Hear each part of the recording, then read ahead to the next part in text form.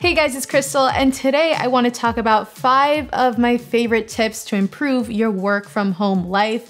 Big shout out to WebEx for sponsoring this video. I even got a new 4K webcam that I will be giving away to one of you guys. So if that's something that you want to improve your setup, just comment below and let me know your favorite work from home tip. Now the first tip on my list is kind of a three-in-one and it's just to remember to hydrate, take breaks, and set reminders throughout your day if you have to. I know it sounds simple, but it's really just an overall life tip. Drinking water is really important. I cannot tell you the amount of times where I'll sit at my desk, start to edit a video, and I just tend to forget, especially if you're a coffee drinker like me. The combination of coffee and no water is a recipe for disaster.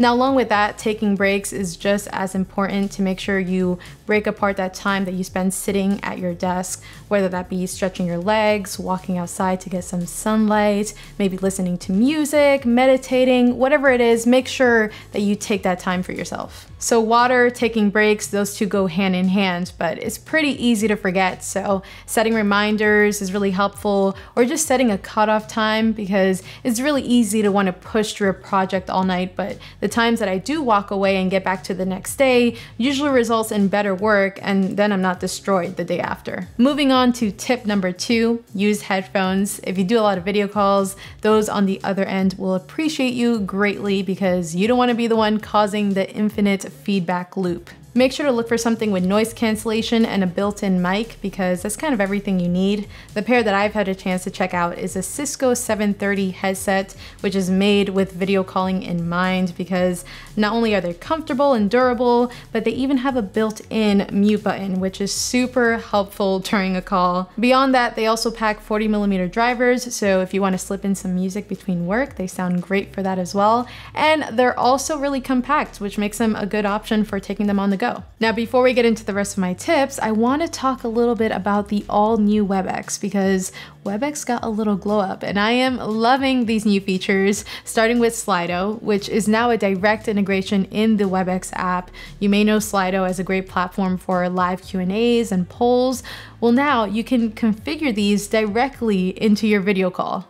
I have a little a little poll for you guys.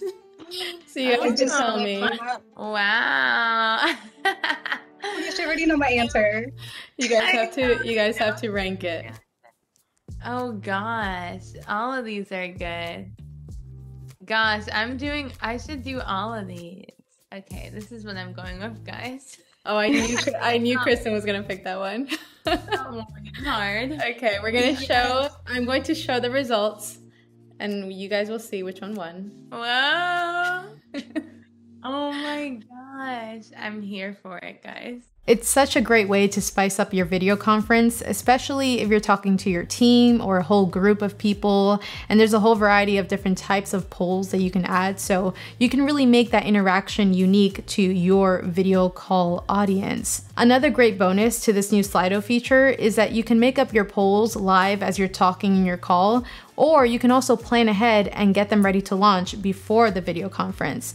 And I've been absolutely loving this feature because I've never quite seen anything like this in any video call platform, and it's just such a great way to add natural interaction with your video call audience. Another one of my new favorite WebEx features is real-time translation, so you can say goodbye to language barriers in your meetings because you can now easily toggle on live captions to translate whatever the speaker is saying. So this button down here, the closed captions, turns on real-time translation in WebEx. We currently have Spanish and it's doing a really great job at translating quickly.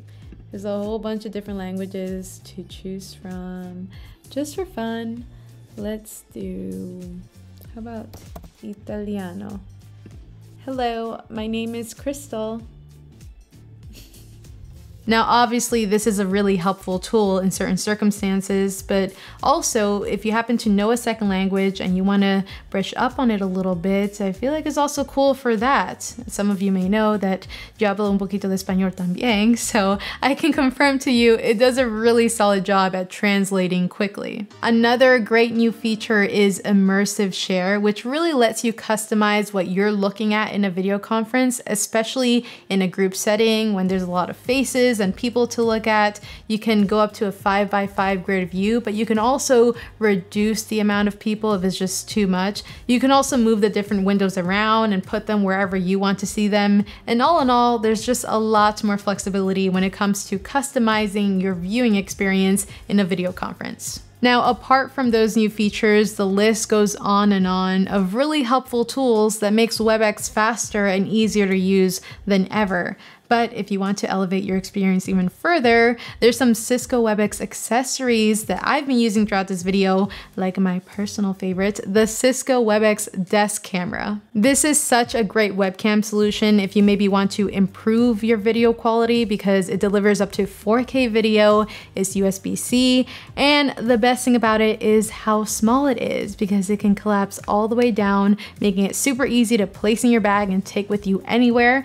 You can put it on a monitor monitor, on a laptop, or you can even just position it however you want to on your desk.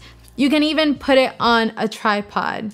We're all about that versatility. So if you pair those new WebEx features with this desk camera and the 730 headset that I mentioned before, you got yourself a next level setup, my friend. Now tip number three is just keep it simple and don't overcomplicate your setup. I know a big trend that we saw last year in 2020 was a lot of people using DSLRs as webcams and crazy elaborate setups. And there's definitely a part of me that appreciates all that, but it's also nice to find the balance of looking for what exactly works for you and not making it too complicated. The other benefit to keeping it compact is being able to take your setup anywhere, even if it's just mixing it up and going into the next room, or when you do have to take it on the road, your setup setup stays the same. Now tip number four is create a comfortable environment. One of the best things you can do for yourself is invest in a comfortable chair, not that $10 fold up special because not only is it comfortable, but it's good for your back and your posture, and you also tend to get more work done.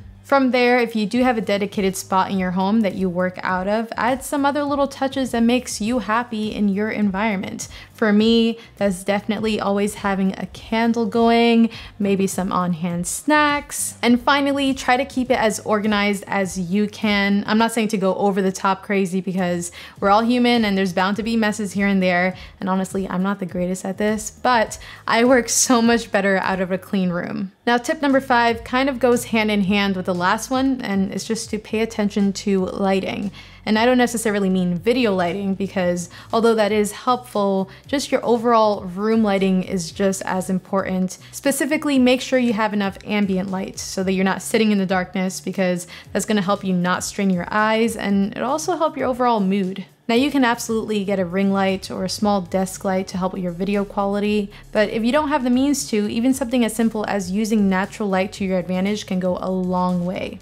In this case, I'm sitting next to a window, and if you have blinds or curtains, that can actually end up looking really flattering on video, as opposed to sitting in front of a window. If you have that natural light behind you, that might make your webcam work a little harder with those highlights tending to overexpose. So definitely keep in mind where your natural light is coming from. So hopefully these tips today helped improve your video call setup and overall work from home life. And again, big thank you to WebEx for partnering with me on this video. And also thank you to you guys for watching. Don't forget to subscribe and I'll see you later.